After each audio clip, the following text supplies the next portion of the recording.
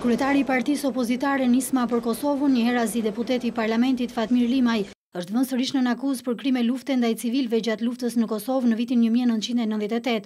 Akuza e bërë nga prokuroria speciale, lidhet me vraset e dy civilve shqiptarë që nuk janë parandaluar prej ti, gjatë kosë kur ishte komandantin një brigade të uqëkës. Avokatin brojtës i Limaj Tahir Reca i tha se akuza nuk është e mbështetur në prova, dërsa vetë Limaj në rjetet sociale, u shprej se rasti është keqë përdorur për të vijuar për ndjekin kundër Lima i njohur gjatë luftës si komandant Qeliku në vitet 2012-2013, u përfshirë një proces gjyqësor në Kosovë dhe u shpalli pa fajshëm. A i dhe nënd bashkë luftëtarë të ti akuzoheshin se në vitin 1999 kishin kryer krime kundër civilve serb dhe shqiptarë, si dhe kundër të purgosurve serb në një qender në fshatin Kleçk. Në vitin 2005, Lima u shpalli pa fajshëm nga gjukata e hagës për të njëtë atakuza.